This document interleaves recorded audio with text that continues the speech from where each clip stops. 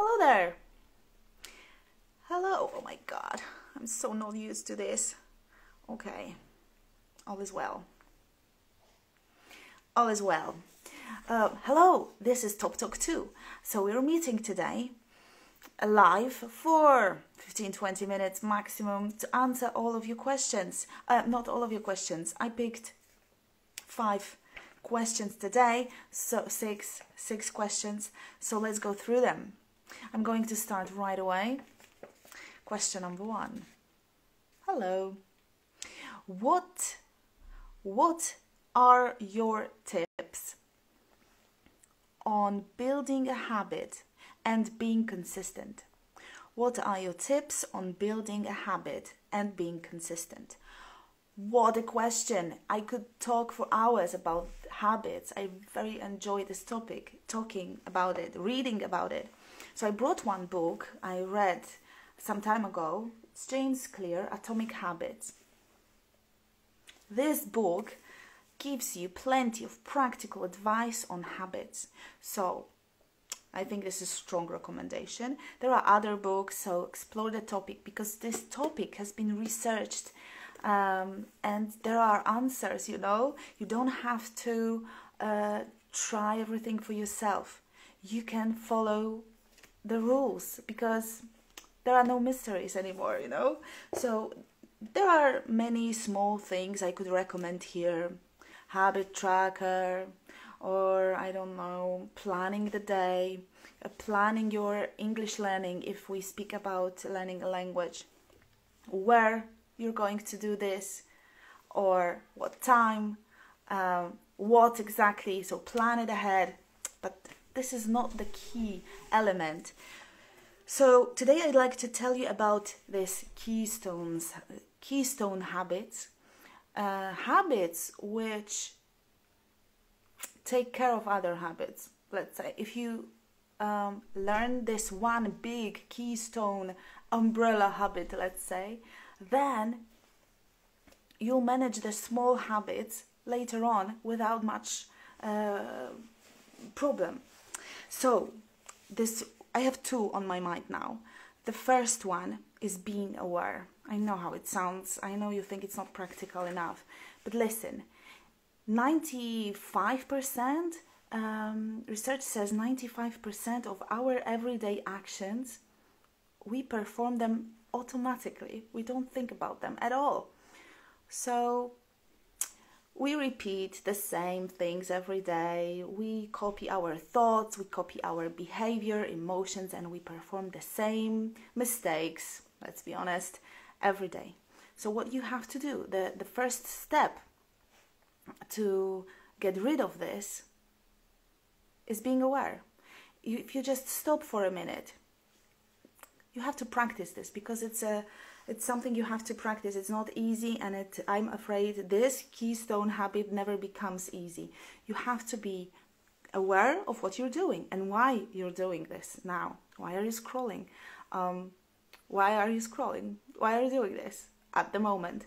Um, so, being aware is this uh, habit that will really improve your life on many levels and it will help you um, uh, build other smaller habits. Be aware of what you're doing and why you're doing this.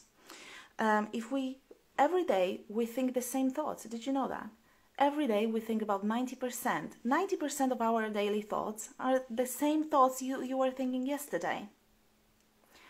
So, if you think the same thoughts, you have the same emotions, you have the same feelings, and you make the same decisions, uh, it causes you to experience the same uh, events, and you end up again feeling the same emotions and thinking the same thoughts, and on and on it goes. It's a vicious circle. So, to get out of the circle, you have to stop yourself. Oh, this is something I just grabbed and be aware of what you're doing and why you're doing this and what were you supposed to be doing. So this is keystone habit and the second one, the second keystone habit and I talk about this habit in detail in episode 137 um, is being consistent. Like yeah, the question was how to be consistent. Being consistent. Just um, have this habit of coming back to the action, to the target action. Let's say you want to be performing for good. You have you want to have it automated. So if you see that you broke the chain and you stopped performing this action one day, come back immediately. I'm going to say that if you stop doing um, performing this habit two days in a row, um, you know that it's gonna be harder and harder to come back. So better don't don't do this. Don't fall for this trap. You have to come back. One day break, come back, do it, perform it, and it can be minimum. It can be minimal. It can be tiny. It can be just a fraction of this target habit, but do something. I can give you my example of me playing the violin. So it happens that during the day I don't find time to play the violin. The teacher comes on Monday, he touches the instrument, he tunes the instrument, and he already knows. You haven't been practicing. So, not to be in this situation, not to feel uh, embarrassed like that, uh, I practice daily and I am extremely consistent. But if it's 10 p.m. and I have not practiced for the whole day, what I do, I take this violin at 10 p.m. or even later. I open the case, I pull out the bow, prepare the bow for the for the um, for the practice. I take out the violin, I attach this little thing that goes on your shoulder and I play the scale that is like eight sounds, eight sounds, eight sounds, and backwards, and I put everything away. Tick.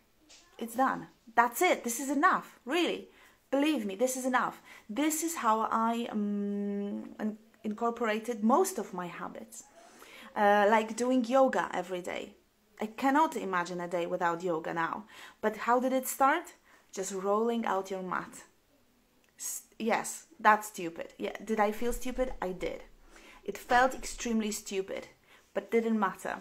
I rolled out the mat. I performed one, two shapes, asanas, and that's it.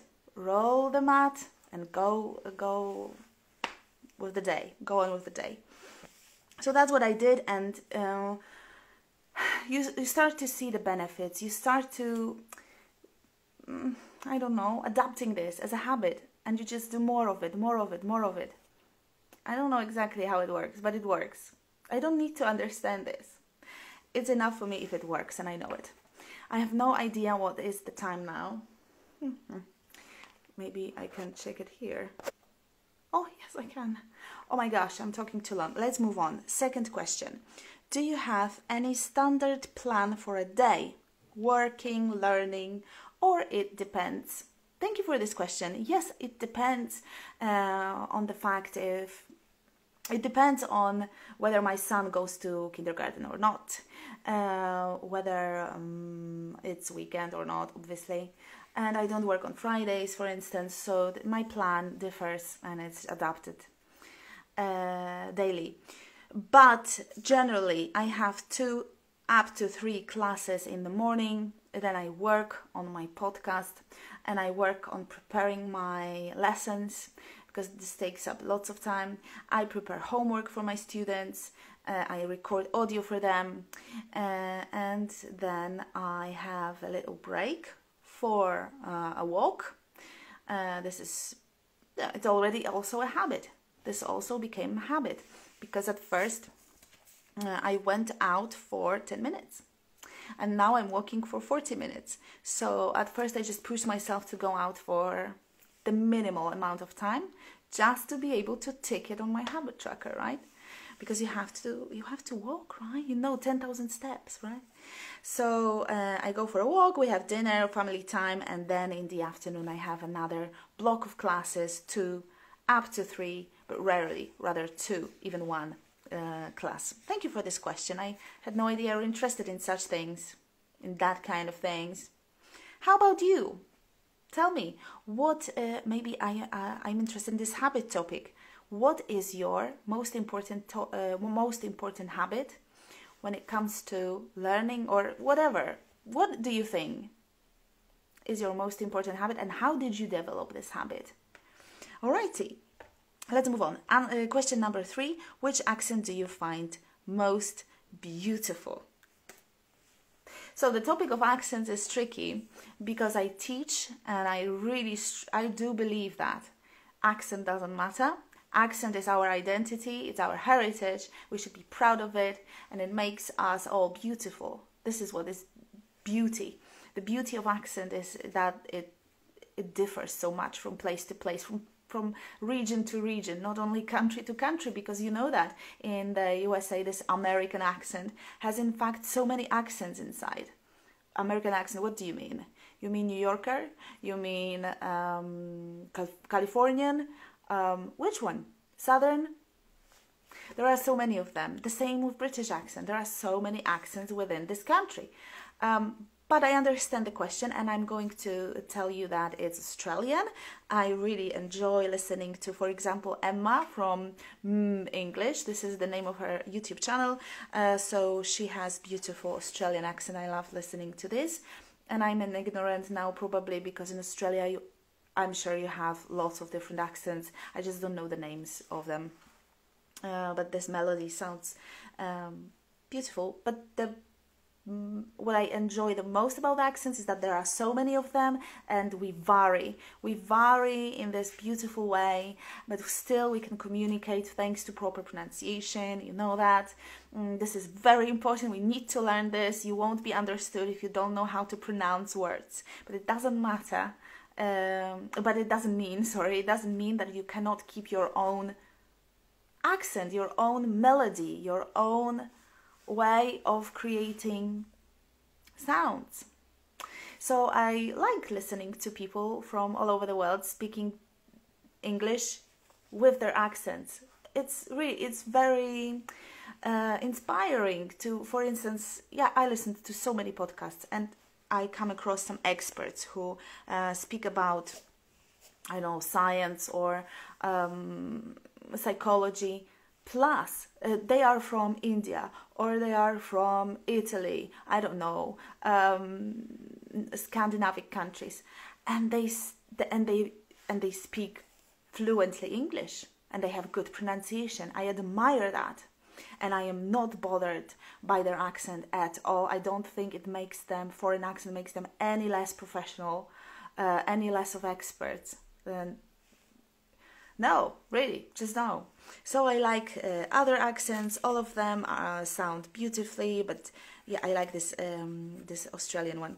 I also enjoy very much if I need to relax during my walks. I listen to Anna Yellen, Time Expert. Do you know her? I recommend it a few times because um, she talks about time. She talks about how to enjoy the moment. That this moment right here, right now, will never happen again and that's what she is talking about. Yes so this is beautiful. Plus her beautiful accent i don't even know where's she from. I think i thought i used to think that her accent comes from uh, denmark or sweden. I don't know really i'm not good at it at recognizing accents. Now i think maybe germany. But this is easy to recognize right? Anna yellen speaks beautiful english with this ah, melody. I just enjoy listening to this. I'm freak. Uh, number three. That was number three. So let's move on to number four. Why did you choose English, not any other language? I tried, you know, I tried Italian, um, but I wasn't motivated enough. I think I I don't know why I did it really. Uh, I did study German in um, junior high school, you know, gymnasium, uh, but it never clicked. And then um, I went to study uh, tourism and recreation, and there we had Italian again. Yes. And then one of my friends told me you should be a teacher because you you you have the, the skill and it's it's just working well because I was teaching them before exams. Um, so uh, this made me think I should do do it. Ah, I know. Sorry, there was also my job. I was working as a receptionist at the uh, hostel, uh, and there were receptionists, two receptionists to my fr- friends. Uh, one of them was studying English, and I felt it's hard to explain because it's not logical. I felt uh, jealous I envied her that she studies English and she was talking about this so much and she was so busy because it's a Jagiellonian University and she has so much to do. Look at these notes, grammar and everything. And I felt jealous. So this pang of jealousy, it made me think that maybe this is something that I want to be doing. Yeah, I was quite okay speaking, um, using English, reading English, understanding English. I thought, um, I should do it. And the friend told me you should be a teacher. I liked English. I was uh, jealous about my friend. And the second receptionist, I was I was just mesmerized uh, with how she was speaking with. Um, yeah, they were they were members of stag parties. This was annoying, very annoying, embarrassing terrible but she was dealing so well with them and she was talking with them beautifully and i tried to observe this learn it by heart and then copy. So i call it aktorzenie mm, so yeah i was just performing as an actor on the scene. Hard to explain.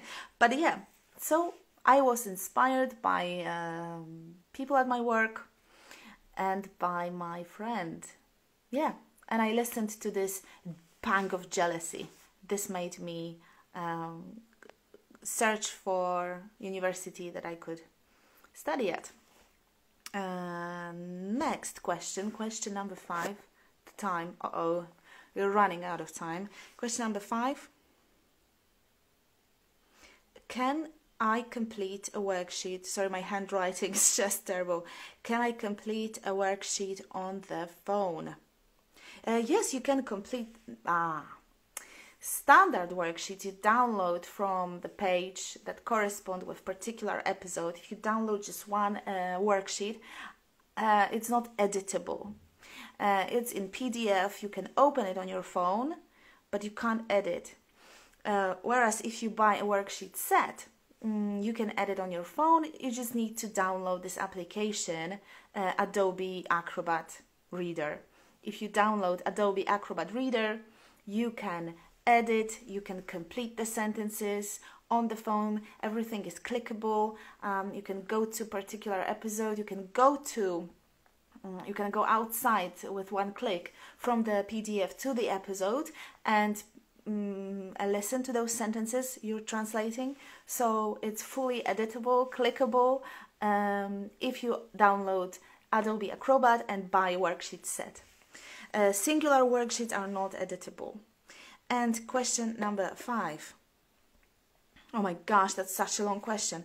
What uh, is the cause of a language blockade? What's the cause of a language blockade? There's whole podcast about this. It's Teacher podcast. I'm sorry. So there is episode one, five causes of language blockade and how to eliminate them. So I recommend listening to this one. But Yesterday, I was talking with one student. Um, I always ask at the beginning when we when when I start cooperation with new student, I ask, was there any particular event in your life? Did anything happen that caused this blockade? Do you know the reason for it? And very often, uh, students tell me stories about teachers who humiliated them, for instance, in front of the whole class, or quite the opposite. Um, the teacher was avoiding me, I heard once, because the teacher knew I'm not uh, fluent and I'm not good at English, so she was never asking me question. Ah, so the quite opposite, with the same result, blockade. Not funny at all. Um, so yes, there might be one particular cause uh, or not, or it's just a um, whole you know mix of many small things that happen Uh, for instance, somebody, oh, this was also a story from my student. Uh, he told me that at work, for instance, one guy was laughing at him that he says delete instead of delete. So he was pointing finger and laughing like a child, you know, in kindergarten. That's what he did. So this was this one small uh, thing, and you just collect them in your life, and they build up the blockade, fear of speaking, and fear of making mistakes, fear of being laughed at. Yeah, many, many. But um, it doesn't have to be something particular, one event that you can point your finger at and say, This is the cause of my blockade. It makes things easier to work with that kind of situation with this person, but it doesn't have to be like that. yes, so tune in, episode one. Good one. Five causes of language blockade and how to tackle them. How to how to tackle them i think. That was the title. Thank you for um, staying till now and i'll see you next week. Ah i know if you want to comment this uh, video please do. Um, maybe tell me about your um, tips and tricks how you manage your habits. How do you have some secret method? Do you have a keystone habit or just any way that helps you um, make the habit a habit? Yeah. So let me know. Or which accent do you prefer? Do you have your favorite accent? What is it let me know. And i'll see you really soon uh, in a week. Bye bye